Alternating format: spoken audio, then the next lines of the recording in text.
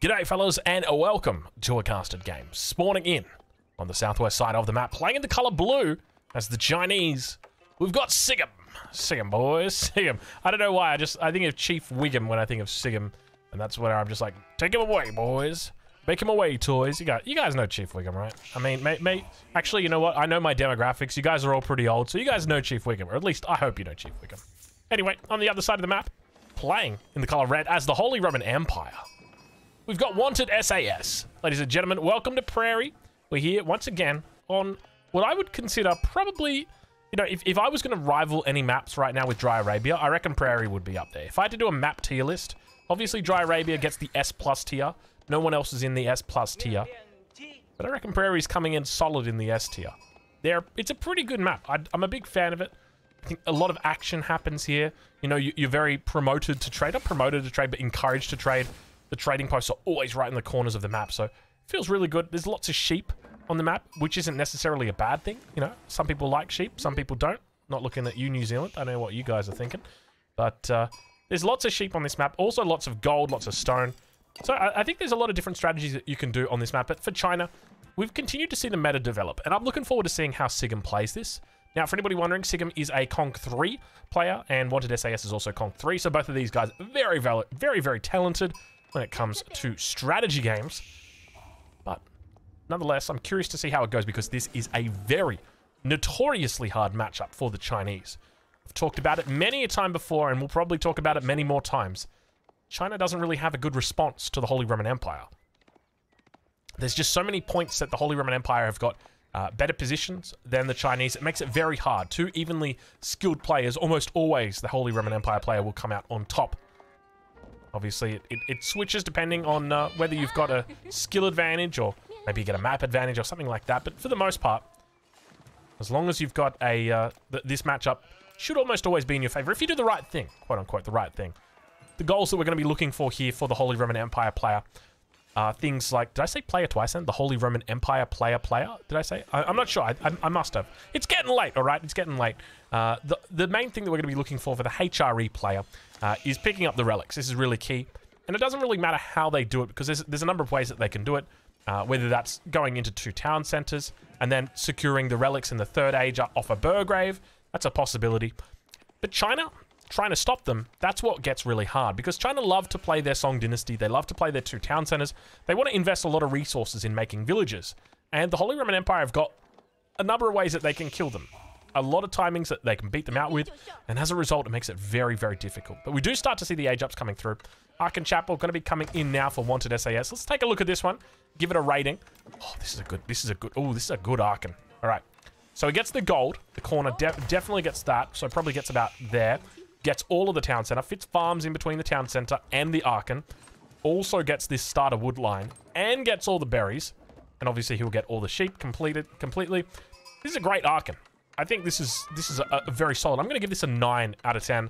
This is great. So really well done by Wanted to keep to pick up this Aachen Chapel. Now, I wonder what kind of strategy he's going to go for, because I think that you've got a number of options here uh, playing as the Holy Roman Empire against the Chinese. Uh, but for the most part, I just feel like, you know, maybe throw down a couple of horsemen. That's it, like a stable into two or three horsemen. Just harass the gold, harass the stone, and go straight to castle. You know, th that's pretty much it. Look to pick up two or three relics. You know, whether you want to go Burgrave or Regnitz, I think Regnitz is probably better uh, than than the Burgrave against China because you can you can buy quite a bit of time. And then you're straight into knights, right? Like you're, you're into knights off the back of the horsemen, and that's it. And you're just hitting the gold mine with the knights, hitting the, the wood lines with the knights, and it comes it comes down to your APM. But speaking of APM, take a look at this. Sheep City, baby. 14 sheep underneath the underneath, well, 13 sheep now underneath the mill. That's a lot of sheep, and you love to see that as, as China. Uh, and, but that's not all. We got three more sheep coming in here. SAS now reaching the feudal age. We can take a look and see as he drops that prelate inside the Aachen Chapel in any second. There we, there we go. Beautiful ring of, of, uh, of influence he's got right there. Really, really nice. And something tells me he could probably lure this boar all the way down here and throw the mill down and then just use that mill to capture the boar, I, I reckon he could do it. I reckon he could do it, and I reckon it'd be absolutely amazing. Let's see how it plays, though. Right on board with Sigum, though. Imperial Academy coming up. He's got a lot of gold in the bank right now. I don't know what he's doing with all this gold, but it looks to be a bit of an oversight. No, wait, never mind. I'm looking at the wrong player. I was looking at Sigum. I'm like, damn, Sigum, you're uh, you're stacking up that gold. 380. No, that is uh, that's SAS or wanted. He is stacking it up. A little bit of scout on scout action. Save it for incognito, boys. Barbican coming up though now. Uh, so nice little spot, and we do see a, a, very interesting opening. I don't think I've ever seen a China player do this. Go straight for horticulture. He's got a lot of villagers on food still. Is he fast castling? Is he going straight to fast? Is he? The reason why I think he's going fast castle is because he's got all this food and he's going horticulture. He's not going wheelbarrow. He's not going survival techniques. He's going horticulture, which makes me think think he really, really wants food. It could be a fast castle out of our China player, and I think this is probably going to increase in in uh, in prevalence the more that we watch uh, China play. Uh, just because with the nerf to Song Dynasty, obviously that makes 2TC weaker on Song Dynasty. So playing Song Dynasty in general is just not as good as it used to be. So I think two or one TC Song Dynasty into a fast castle is definitely viable. You can look to see times around the eight minute mark as well if you've got a pretty solid build order. Uh, without the Song Dynasty, you can actually get it down. I think my fastest time to castle age is, with China is like 6.30, which isn't too bad. The first of the horsemen are out now on the map. You can see it is going to take a few shots there from the town center. More horsemen surely going to be on the way here, but no, it looks like SAS just going to be sticking with the one horseman. I do like the fact that he's just got a single horseman out, but this horseman isn't going to be enough, and there's the click up. Eight on the Regnitz Cathedral already. So, so far this opening for SAS has gone perfectly, flawlessly. I've got no criticism whatsoever. Uh, it, this is just, he's nailing it out of the park. Um, you could look for a second horseman now in the transition period, but it's kind of a waste, right? Like, you're going to be up so soon, and you're not really doing much with this. Uh, villager here just going to be draining wood. You can see it slowly but steadily draining the wood there. And the age up coming through. But at the same time, I mean, what's Sigum looking for? He's going to be looking for his own stable. And look at the horseman. Huge overreaction here from Sigum. And this is just, you know, this is part of why you want to go for this early stable, right? Because the stable forces a response. And look at the response. It's a complete and utter overreaction coming out from Sigum. He's supervising this as well. So now he's got two. And remember, th this is going to fall back. Regnitz Cathedral comes up. One knight comes out, and that's it. It's all she wrote. The knight will do more than enough uh, to, will be more than enough to deal with that. And he's going to be spending all of his important food on this horseman. So a little bit of a misplay here by Sigum. Let's watch and see how he plays it, because he might look to force some magic. Maybe he hits the Vils on the gold mine, potentially. He's not going to hit any Vils under the TC. Could hit a villager here over on the wood line. The age up comes through. Where are the prelates at? That's going to be the question. We'll ride on board with Wanted and see if we can spot them. At the moment, it looks like just the single prelate. Let's have a look. Yeah, one prelate at the moment for him. Didn't look to get any in the age up time. Still not making any prelates either. Has got the first knight in queue. A little bit of a run around over on the west side of the map still. Second scout down to the south side. Horseman does go down. More horsemen coming across the map. So he did go for that horseman in, in queue. And Scout is following that back. So now we see him making the uh, the prelates with the Regnitz Cathedral, rallying down towards the first of the relics. He'll be looking to pick up all five relics this game. Is Sigum going to be letting him? That's going to be the question. And Sigum looking to age up now. Four horsemen. Look at that. He could, he could be clicking up right now if it weren't for that. But it, it does give him that... He got a villager? You got, you got a villager? You got one of Wanted's villagers with a horseman? In 2022? That is that is a, that is a wild story. You know, if I told that somebody that at a pub, I don't think they'd believe me. I'd be like, no, you didn't kill a villager with a horseman. No, you didn't. It's it's like that. It's that classic Billy Madison where he's like, you see that villager over there? Well, I killed it, and I'm a horseman. And Billy Madison's just like, no, you didn't. No, you didn't. We, we know you didn't. That's not that's not a real story. Anyway, the knights are out now. Imperial Palace is going to be coming down. Interesting opening. So this is where it gets hard for China, right? Like, because China's up on economic uh, population. But remember, a lot of that economic population is doubled up uh, through the Imperial officials. So you can see there's two here.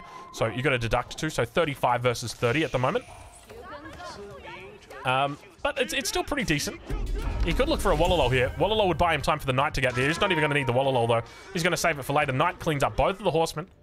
still up towards the north. Look at this. He actually takes out a Prelate as well. So very nice, very nice work there from Sigum. The fact that he's able to deny that Prelate effectively is, uh, is very, very smart. But Sigum now with the Imperial Palace on the opposite side to the Barbican. Very well played by him to know to do that. And now where does he go from here? He's going to be going into Lancers. You can see the consequence of delaying that castle age. This is where I, I, if, I feel like if you're going one base fast castle as China, don't go Song Dynasty. What does Song Dynasty add? Like when you think about it, from from the perspective of like, okay, what value do I get from Song Dynasty? you get increased villager production time. That's it. You don't get anything else. I mean, you get a Barbican, which is, is good if you like Barbicans. Uh, you also get an Imperial Academy, which is obviously the, the better landmark in this position. But in reality, it doesn't give you a whole lot, the Song Dynasty. So I feel like it's a waste of resources. Obviously, this is this was an overreaction as well. Uh, but now we can see that the uh, the relics are coming in. Two so far secured for Wanted. Third one almost certainly going to be secured. Fourth one almost certainly going to be secured.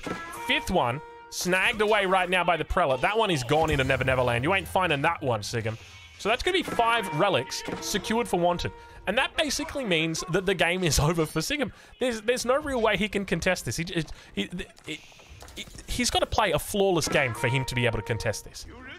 So I'm, I'm curious to see what he pulls out. But the issue that he's going to have is that his enemy is on a very similar economic count. Now, obviously, we've talked already about the Imperial officials, but, you know, let, us consider the fact that he's also got an extra 40% carry capacity and an extra 40% carry speed. So let's really not compare apples to oranges here. But even then, we've got, you know, minus three here, so you're at 44 versus 35. So we're nine vills different, but we're five relics difference. Three here so far, and obviously two more coming in. And that's what makes it really hard, because that gold is going to go into units. Now, he can look to go Castle Age, or he can look to just make units. It's really up to him how he wants to kill China, because at this point, China, uh, China's goal is to survive, and it's not going to be able to achieve its goal. The, the goal to deny relics just hasn't been achieved. And, and that's going to be your primary goal here as China. Your secondary goal is survival. You know, you don't have to survive it as long as you, you deny all the relics. But you, you, guys get the point, right? So he's going to be able to get out. He's And this is the consequence of playing Lancer against the Holy Roman Empire, is that they're able to send back their lower health uh, knights, and they're going to be able to heal them up under the Regnitz. Because those all of those prelates are going to be back there. So he's going to be super careful, Sigam. Looking for another upgrade here. Fighting out against some of these knights. We've got the classic knight battles, but look at this. One of them gets taken down. Second one on one health remains. He's trying to get it out here. Big charge is going to be coming through. He manages to save it as well. Big damage. But now that population really starting to spike up. Both of these guys on 10, 10 uh, knights each. Upgrades are coming through for Wanted as well. It's going to come down to the micro. Who's going to be, who's pulling this back and Wanted pulling one back? It's not coming down to the micro at all. Numbers are much better for Sigam. Sigam forces him back. There's an opportunity here. If Sigam's got the ability to raid his enemy and look to deny some of those villages, he could be in a great spot. And he could look to overwhelm his enemy. Hit the gold mine. Hit these berries. We know where the villages are. We have Omnivision. He doesn't. Or does he? The Imperial Palace, ladies and gentlemen. I tricked you. I tricked you. I, I, made you think that he didn't have Omnivision, but he did actually have it. So he can use Imperial Spies here to expose where the enemy villages are. Let's see if he uses it. Riding on board with Sigam right now. He's moving towards the enemy base. He spots out the Prelate. Could look to pick them off. Gets off a big charge on the front line. Takes out plenty of the Knights. He's getting heals up on the backside. Still no Imperial Spies used at the moment. He's doing a decent job of cleaning it up, but he's holding on. And keep in mind, reinforcements are going to be here for Wanted. He's got four more Knights in queue. And this was a bit of a mistake. A little bit of a mistake from Sigam. He wants to just find those villages and deny those villages. Now going to be looking to clean up that sacred site over on that northwest side.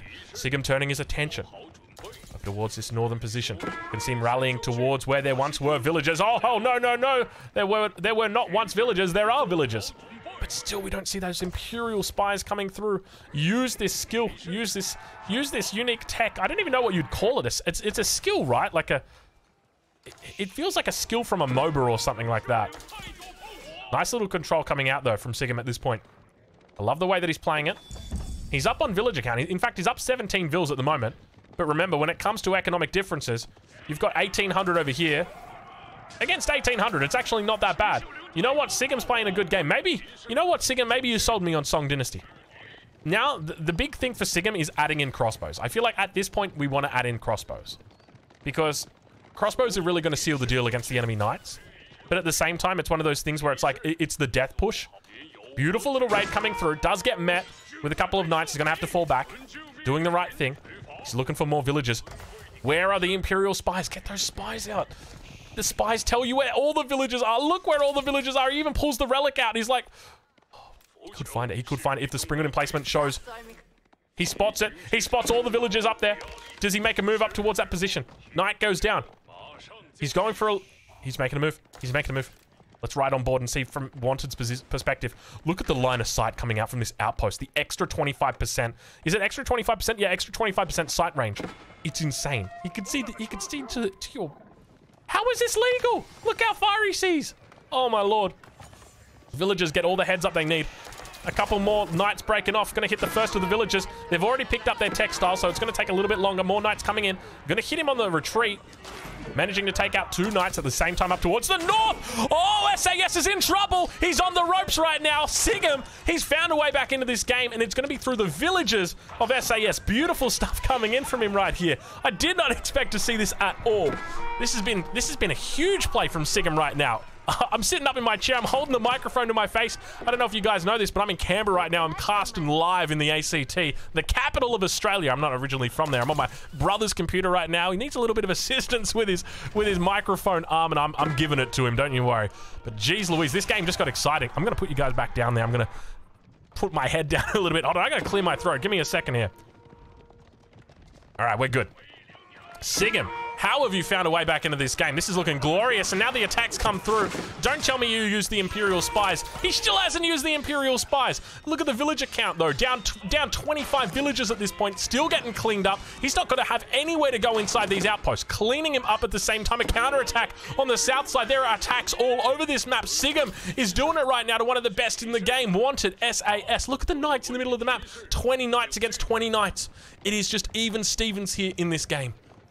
Let's have a look at the moment at what the income is. You're sitting at about a total of around 2,700. Compare that over here and you've got about 2,200. That Chinese difference is coming in. I can't believe Sigam's showing me the light. The new way to play China is looking glorious right now. Look at the knight numbers here. Oh my lord, Sigam. How does he, how does he, how does he not win this? This is going to be insane. This is going to be crazy. This is a, a matchup that is so damn hard to win as China, and Sigam shows us a way. No outpost down here on the south side. This this knight, not a single chance it's going to be dying unless unless unless there's an overreaction of 12 knights. But at the same time, in the middle of map, SAS is looking to push through. He's got plenty of upgrades as well. Two attack coming through compared to Sigam, who's got nothing. Finally, oh no, that's Hardened. Spearman? Spearman? You don't want to be going Spearman against Knights, my friend. They're just going to run you around forever. You got to be going crossbows. That's what's going to force the issue here. But now Sigam falls back 23 Knights against 23 Knights. The only difference is there's a bit of healing on the side of Wanted SAS. He's trying his best to push through. Doesn't really find much. Could be looking for villages. On the south side, there's a lot of idols. Where does he go next for food? He's completely all out on this south side. He might have to think about migrating over towards the east side. The consequence of not going for it. And ladies and gentlemen, we got ourselves a little bit of a battle as Sigam goes deep right now. The Knights charging through all of the priests on the back line. Look at the monks as they go. The prelates healing up throwing off that extra armor and attack speed as well. And Sigam, he's got the number advantage. I think he might have it, ladies and gentlemen. SAS in trouble right now. He might be heading back to the pavilion here. Indeed, he will be. Look at the numbers. Sigam overwhelming his enemy. Sigam looking glorious, showing the Chinese way. Good stuff. All right, Sigam, let's go. Counterattack time. We've got Imperial spies. We click that button and we send our units to every single corner of the map. Well, not every single corner, but most of the corners. There's one here. There's a couple more here. We clean up these. Come on, Sigam, you got the numbers. You got the know-how. You can do it, I believe. Look at SAS. SAS going to be coming in. Gets a nice big charge onto the front line. It's double charge. They cancel each other out. And at the same time from behind, the Spearman going to be copping a little bit in the backside. He's hardened, though, so don't mind him. Whoops. Sorry. It's a, it is a family-friendly show. Uh, that was not intended. More Spearman's looking to join the fray. No, no veterancy yet at this point, but the number's starting to dwindle for Sigam. He loses a lot of units there. Ideally, would have loved to have seen a couple of uh, a couple of uh, healers coming out. More charges coming in. SAS throwing away his units. Got to be careful. Sigam is looking solid in this position. Looking to overwhelm the enemy base. A little bit of a raid on the backside, but it does go down. Unfortunately, sends it too low of a health knight on to do that mission. But two more knights head to the north. We see another outpost coming down with the Springald emplacement shortly going to be dropped in. He's heading up towards... No, he's changed his, his mind. He's looking for food right now, but little does he know all the food is underneath the Holy Roman Empire Aachen Chapel. Look at that bad boy. Collecting up plenty of wheat for you. And it looks like he did expand over towards his eastern position. He's going to be a bit more nomadic. So role-playing as the Mongols, looking for where he can try and drop this down. Now, one of the key things is that China at this point in the game, 19 minutes, 20 minutes, should have transitioned to farms. But we take a look inside the base of Sigim and we don't see a single farm. And the reason why is because he's not 2 TC Song. He's 1 TC. And that means his wood economy is not going to be as strong as what it would be if he was on that 2 TC play. He is focused completely on units. This is a new style of China we're seeing today.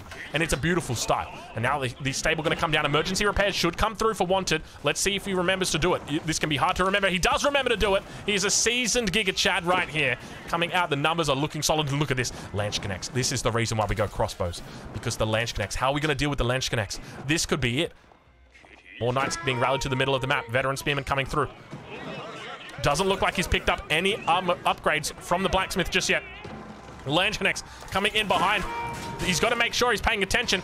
He is paying attention. He does manage to get away, but he's going to be losing plenty of units here. Those Landsknechts, no real way to deal with them. This is what he's going to be so careful of. These guys swing to win. Ronald McDonald, you can see him right there. Red on the top, yellow on the bottom. Watch out for him. you got to pick these bad boys off. The response from Sigim immediately should be archery ranges. He needs a ranged unit to deal with this. If he doesn't, he's going to be in a world of pain, a world of hurt. And now the turnaround comes through. He's looking to try and pull a couple of them away. He Needs to focus down these Ronald McDonalds, and you can see that they're managing to make their way onto the front line. Still Sigim for fighting for his life, but hold on a minute. The numbers for Sigim have gone terribly. How strong are these units? They somehow turned it around. At the same time, counterattack up towards the north, over towards the east side. More units heading onto that backside. Sigim really giving us a, giving us a Chinese show today. But Ronald McDonald and all of his friends on the floor. Look there, you can see the, the Hamburglar as well. He's lost his life. Mean, speaking of lost their life, over on the this northeast side of the map, four Lancers have taken out a single villager, unfortunately. Not the not the success story you'd like to write home about. Now onto the south, the defense going to be coming through. He's got the villager advantage, up 23 vills. Both players have taken out eight villagers this game. And you definitely think from Sigim's perspective that he would have taken out a lot more than that. Eight definitely seems underwhelming considering the control he's had this game. But now we enter into a bit of a lull period where I'm throwing about a question marks because we've got no farm transition for Sigim yet. Yet, I say yet. So what does he do? What does he do? Because he, he, can't make units. And he didn't go for his clock tower. And because there's no clock tower, he's got no siege. And because he's got no siege, he's got no way to deal with the Landsknecht, at least not yet. And he needs range units. You can see the archery range is sitting here, but, but no one's home to make the range. And now all those units are going to be moving down towards his south side. If they find villagers, he's in trouble. He's in a world of pain. And SAS is on the look for it. Up towards the north. More Landsknechts there. Single knight coming through. I don't know what this path thing is.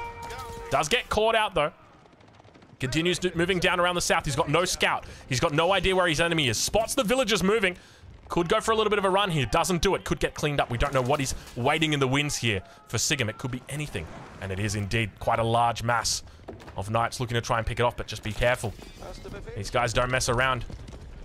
You might think that fork looks delicious. Well, I assure you, it is not. You wouldn't want to be eating that for breakfast, I tell you that much. I'd much prefer a Happy Meal. Outpost coming up now, over on the east side. Knights moving up towards the north. You can see Sigim with great control here. Beautiful multitasking, but perhaps that's just credit to Sigim with regard to that villager loss. You know, Sigim should have should have taken, or yeah, Sigim should have taken out so many more villagers this game. And he just hasn't. SAS has done a great job, and now we see the next batch of reinforcements coming through. Somehow, SAS was able to get out with the Knights. The Landsknecht down to the south side also going to be getting out. They're, they're looking for villagers. Look at this. Look at this. He's looking for these villagers. That could be good game in itself. Uh, if there are villagers... Oh my god, there are still villagers there. Oh, this is going to be terrible. If he's got him distracted, if he's got him in multiple areas, this could be immediate just GG.